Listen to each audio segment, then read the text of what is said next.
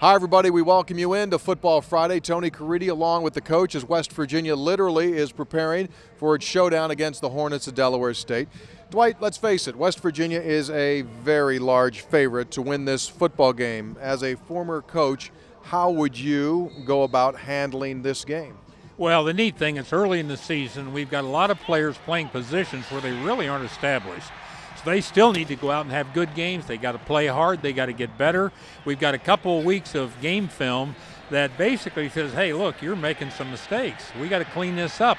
So the coaches, after two weeks, they've got a lot to get on them about. So I think normally with Don Nehlen at least you couldn't you know you couldn't get easy on these guys. He wanted the coaches to get after them, and they we did not do anything exactly right. So you were on them all week, and they uh, should be glad the week's over and ready to get it back to a game. I think that's the sentiment uh, that they've had in practice this week. They've been hard on these guys because they don't want them to just go out there and go through the motions. I think that also reveals a lot about a team's mentality. If you go out there and you play hard right from the start, like they did last week against East Carolina, I think that says a lot of what's to come from your team during the season. Agree? Yeah, I agree. Uh, you know, you'd like to think your guys are going to be self starters. You'd like to think you only get 12 opportunities to do this, so why would you mess one?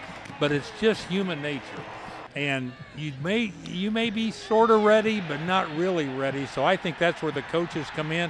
That's why coaches lose sleep over these kind of games because they know uh, that you just have to go into every game. Everyone's capable, and and we saw that years ago. You know, at Michigan and and Appalachia and some of those others, you know, where my gosh, it's tough. Yeah, this is not a game where you can start halfway through. It's no. got to be full bore. Hey, don't forget that at 9:30 coming up Saturday morning, it is the Hall of Fame induction. It's free, it's open to the public, and it takes place at the indoor practice facility if you're coming to the game. That'll do it for us. Kickoff goes at high noon. Pregame coverage at 8:30, along with Coach Wallace. I'm Tony Caridi, and this has been Football Friday.